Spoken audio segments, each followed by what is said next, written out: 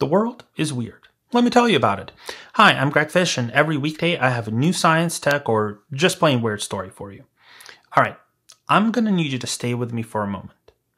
There's a story in Popular Mechanics which claims that thanks to the work of Nobel Prize winning physicist Roger Penrose, your mind can reach out to the entire universe, as in consciousness can be shared and universal. But no, not really, because this is a gross misrepresentation of quantum mechanics from New Age spiritualism made popular by people like Deepak Chopra. Yeah, the guy who wanted to argue with scientists about oxygen atoms being intelligent enough to know that we need them to breathe. So, obviously, this is not how any of this actually works.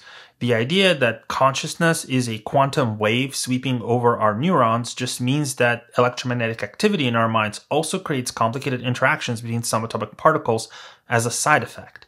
That's basically it. We actually know for a fact that there is entanglement in the connection between the heart and the brain. But we also know that it would take a very special event to say, link the heartbeat of two people, and that any two particles can only be entangled once and very briefly. So, whatever quantum entanglement happens in your body, it's almost certainly going to be inside you. The idea that your consciousness could be entangled with that of others across the entire cosmos raises questions that it can't possibly answer and implies consequences that we have never actually seen with an entangled system.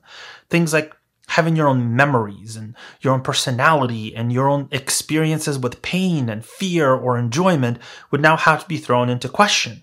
And the answers would involve a whole lot of shrugging and abusing jargon like decoherence and non-local in a way that gives any scientist a migraine. So no, this is not science. This is postmodernist philosophy that got carried away with phrases like, we are the universe experience itself and all life is connected and took them not as colorful metaphors, which they were originally intended to be, but very literally. Then they ransacked scientific jargon to create very elaborate word salads from particle physics to make it sound plausible to their audiences. And once that audience is impressed, well, they have a book or a supplement or a coaching package to sell them.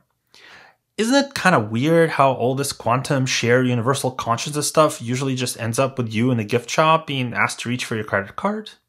And remember, if you like science, technology, or just plain weird facts about our universe, follow me here and on my newsletter, World of Weird Things, where I collect five must read bleeding edge science and tech stories every weekday. See you next time.